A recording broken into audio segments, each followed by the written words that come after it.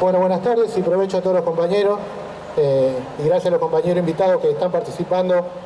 de este locro obrero y popular eh, junto con el PTS. Nosotros compañeros queríamos, bueno, eh, contar un poco lo que ya a través del periódico, bueno, internet se pudo ver,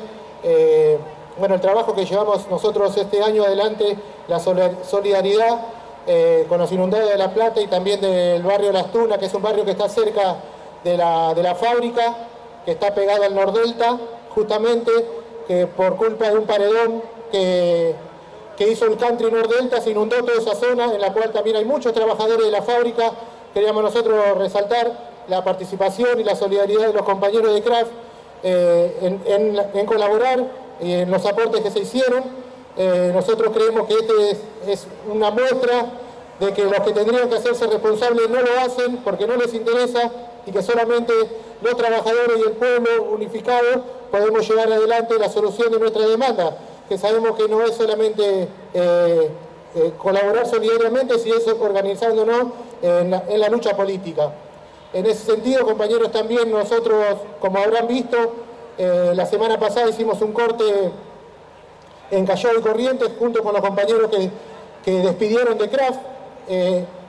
por suerte salió muy bien la,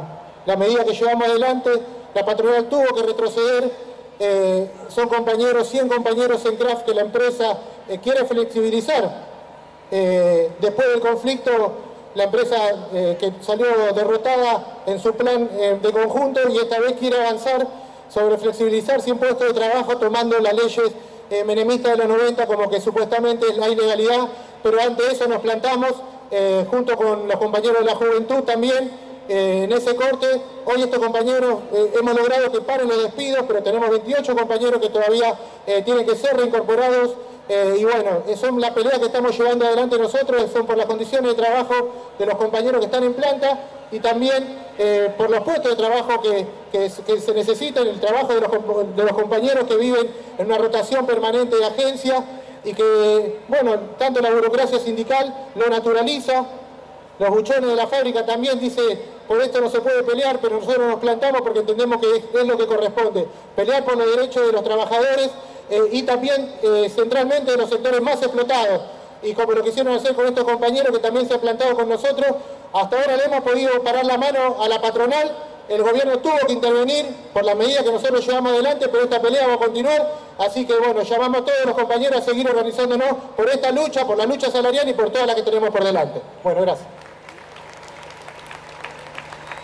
Buenas tardes compañeros, también contarles, nosotros la impresión es que estamos dando una dura pelea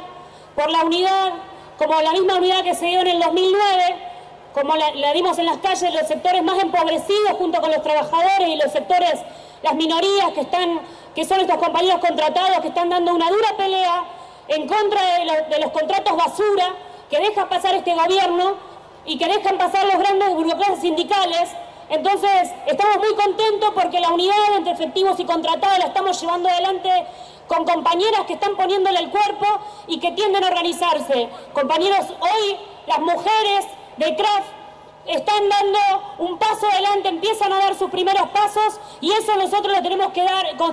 transformar en organización y que hoy ellas entienden, si el contratado logra su puesto de trabajo, es también beneficio para para sus propios cuerpos porque están cansados de la doble explotación, de hacer doble tarea y esto quieren enfrentar tanto a la patronal como a los sindicatos. Compañeros, hoy, como se expresó y como dijo Javier, la solidaridad está empezando a correr por las fábricas y quieren llegar a los sectores y a la unidad que hay eh, como compañeras de LEAR, compañeras de PepsiCo, los compañeros que, las compañeras de PepsiCo que lograron bajar un kilo eh, las cajas y esto es una pelea y nosotros tenemos que empezar a que se conozcan en todos lados y la verdad estamos orgullosos de donde estamos y estamos aportando el grano de arena para que estos sectores empiecen a organizar con los sectores más empobrecidos como los barrios que de alrededor y los sectores contratados. Compañeros, un saludo enorme y muchas gracias y esto es muy emocionante.